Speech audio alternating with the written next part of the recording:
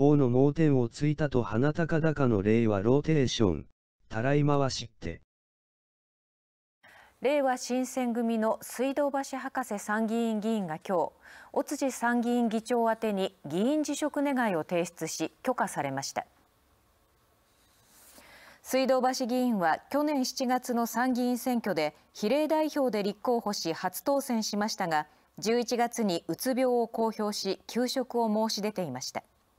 令和新選組の山本代表によりますと病状は改善に向かっているものの辞職の意向は一貫しているため医師とも相談して辞職を認めることにしたということです。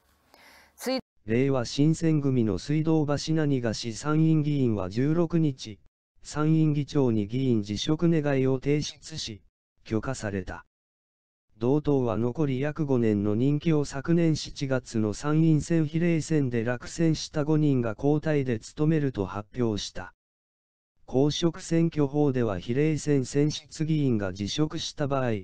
所属政党の比例名簿の時点が繰り上げ当選を定めている。それだけだ。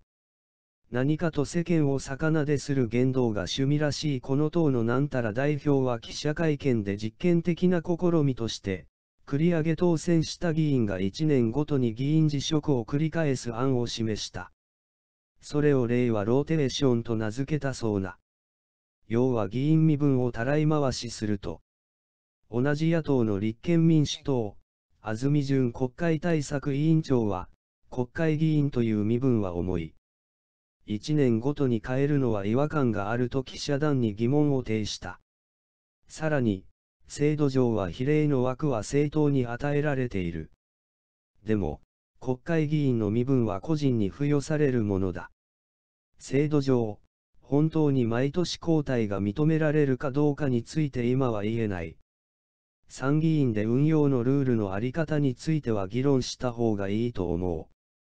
今まで経験のないことだから違和感はある。国民が支持するかどうかはわからない。